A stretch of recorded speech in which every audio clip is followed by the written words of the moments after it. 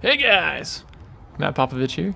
Today in my series of Audi A3 videos, I'm going to explain what it means to have a low coolant warning and how to fix it from the perspective of a 2015 Audi A3 8V. When you first start your car, beeps and chimes will start going off like your car is very unhappy with you, but don't freak out as it's not the end of the world yet, although it could be if you don't keep an eye on things.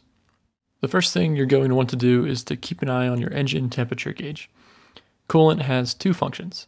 It keeps the engine from overheating in the summer, and it protects the engine from freezing in the winter. I just started my car after it was sitting for a day, so the engine is still cold. After a few minutes, the engine temperature will creep back up to the normal level, which is where it should be while you are driving. It's okay to keep driving with the low coolant light on as long as your engine stays at the normal operating temperature you'll need to keep an eye on it. Ideally, you'll want to check the coolant level as soon as you can for some additional peace of mind. If the car doesn't get to normal operating temperature, or if it goes past that line, that's a bad sign and you should then pull over, open the hood, and check the coolant level. Let me show you how to do that now. First, we'll open our door so that we can pull this lever to pop the hood. We will want to park on a level surface so that the coolant in the reservoir isn't tilting to any side. Next, we'll go around to the front of the car and feel under the hood above the Audi symbol for a button or latch to release the hood. From here, we can find our coolant reservoir, which will be on the passenger side of the engine. As we can see, my coolant is below the minimum line, so we'll need to add some more. When the car is cold, the coolant should be between the max and minimum line. When the engine is warm, the coolant can rise a bit to be slightly above the maximum marking. That's okay. As it is right now, it's technically okay for me to drive like this, as I do have some coolant in the reservoir. I will just need to keep an eye on the engine temperature gauge while I'm driving. For coolant, I need to use G13 coolant as stated on the reservoir. The manual states that you can also use G12++, but I'll just follow what's printed on the reservoir. While you can technically mix the two of them, it's not ideal. If you want to switch from G12++ to G13 or vice versa, you should flush out all the old coolants first. G12++ and G13 will be pinkish purple in color. Do not mix it with any blue, green, orange, or yellow coolants as they are not compatible. Coolant can be bought as either concentrate, which is 100% strength, or as a diluted or mixed 50-50 concentrate and distilled water. If you buy concentrate, you will need to cut the strength yourself with distilled water. Do not use tap water, do not use bottled water, use distilled water.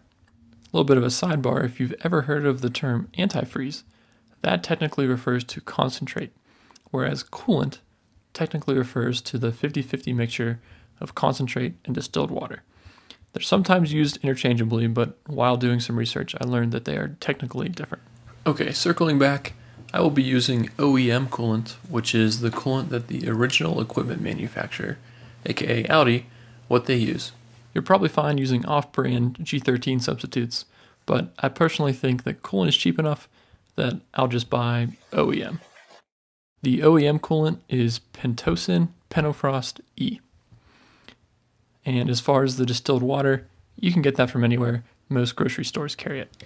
I'll have links in the video description and at my website pointing you to where you can purchase these.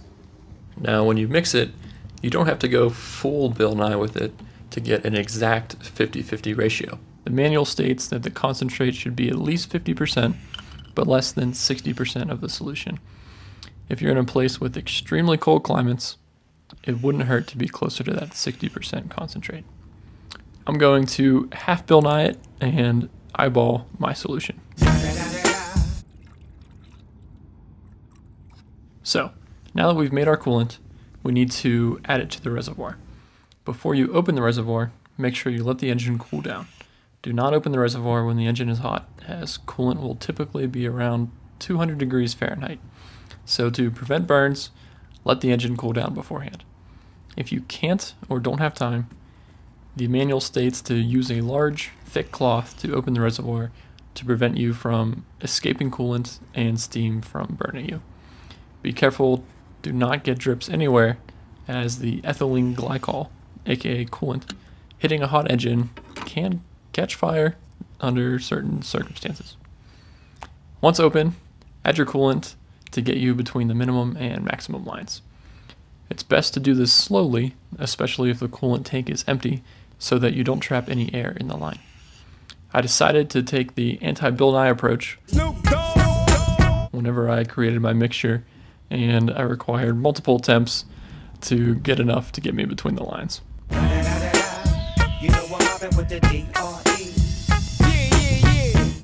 As they say, your actions have consequences. Now that we're topped off, make sure you fully tighten the lid and hear a click. We need it to be fully sealed so that none of the distilled water can evaporate and be a source for escaping coolant.